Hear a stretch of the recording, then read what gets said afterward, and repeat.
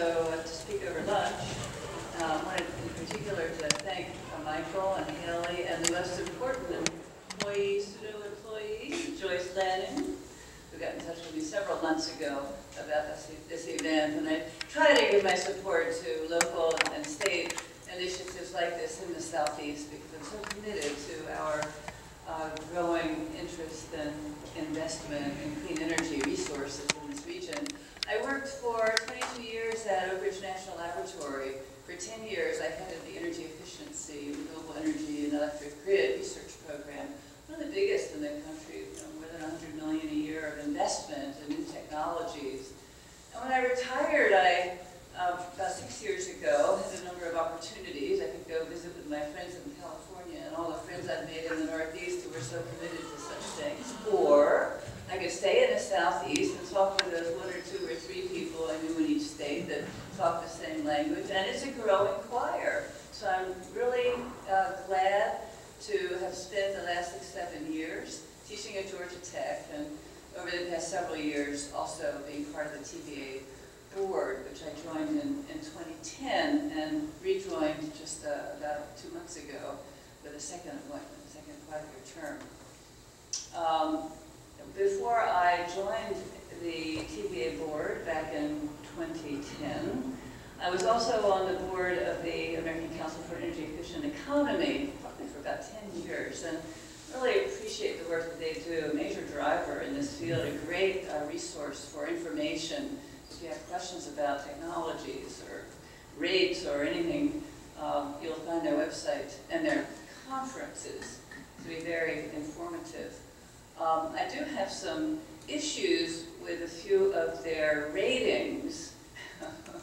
In particular, the treatment of the Tennessee Valley Authority is difficult because um, the states um, often have relinquished some of the policy leadership to TVA, and so when you go to ask what's the state doing, um, if you don't incorporate what TVA is doing into the ratings, we look as though we're not doing very much in those states of the southeast. So maybe we'll return to that in a, a little bit over the luncheon when I put up some of those state ratings and how we may want to make some adjustments. But for these few minutes, I wanted to talk a little bit about what I do think, as Ken said, is really one of the sort of best practice approaches to integrated resource planning, and that is uh, done by the Tennessee Valley Authority.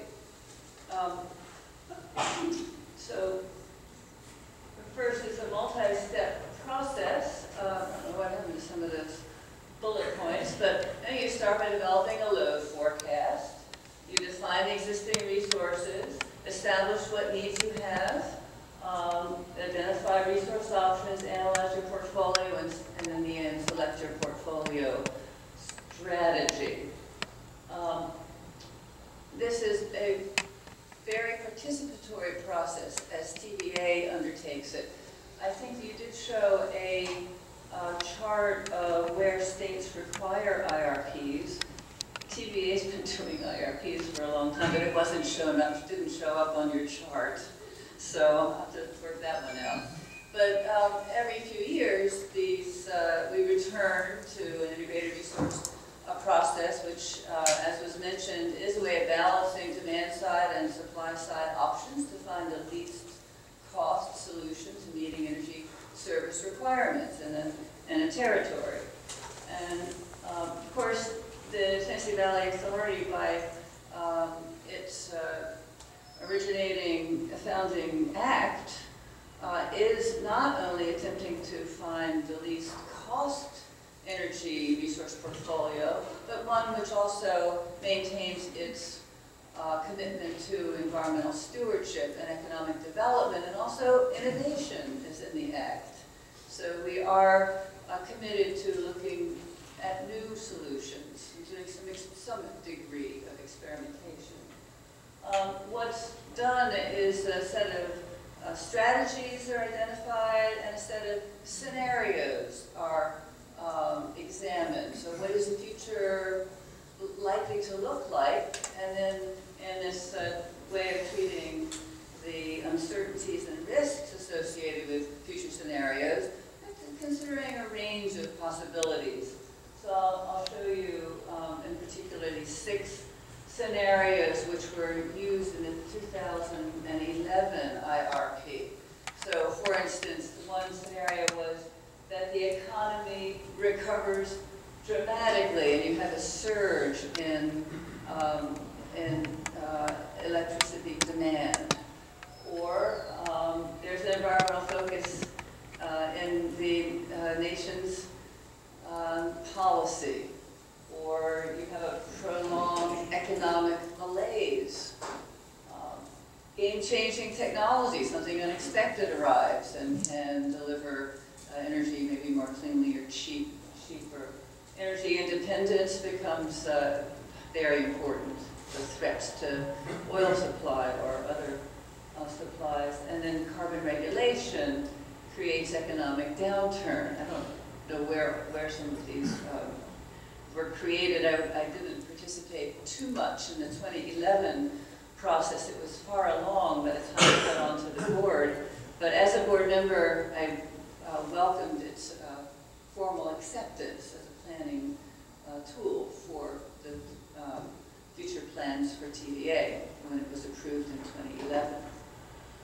So in addition to looking at possible alternative future scenarios, you also have a range of aggregate um, approaches, strategies that you could deploy. And you roll up the strategies against the future scenarios and rate them in a scorecard approach. So these are the strategies that were examined in a, in a uh, quantitative fashion. So we have one which is a limited change to the current resource portfolio. Um, baseline plan resource portfolio, diversity, uh, nuclear, high nuclear or high efficiency demand response, and renewables. So these were the different portfolio uh, strategies that were examined. And then in the end, we uh, elected to, um, there were a set of recommended planning directions that emerged. And um, these are the commitments that were, that came, these, these are the recommendations. I'll show you in a minute how TVA responded, mostly in um, line with all of these recommendations, with an exception or two. So we had a recommendation to significantly grow efficiency and demand response over the short term by 2020 and a significant uh, range of possible expansion of that commitment up to on the order of 14,000 gigawatt hours or uh, uh, billion kilowatt hours. I don't know if you feel it's more, it's, these are units that are tough to relate to, I apologize.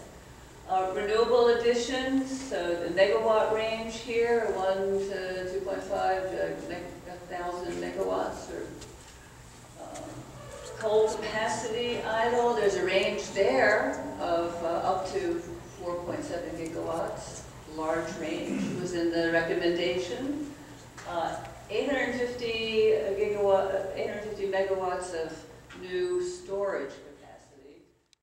Facility in Tennessee, which is a wonderful asset uh, for TVA. Unfortunately, there are some engineering problems. It's been down for a year, and in addition, we've not added new capacity. It's very difficult to find sites to uh, be able to, to move into a new pump storage um, capacity. So that's the one we've fallen short on.